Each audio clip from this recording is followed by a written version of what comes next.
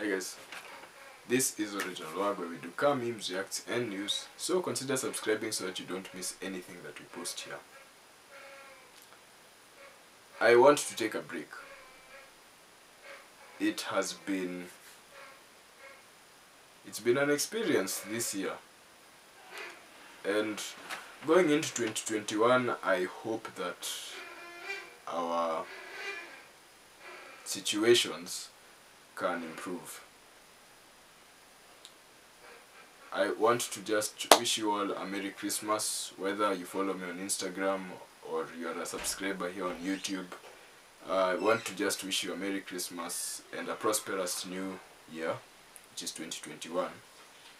A year which which um, you will be able to recover whatever it is that you've lost this year. Until then, stay safe, and I'll see you all in the next year.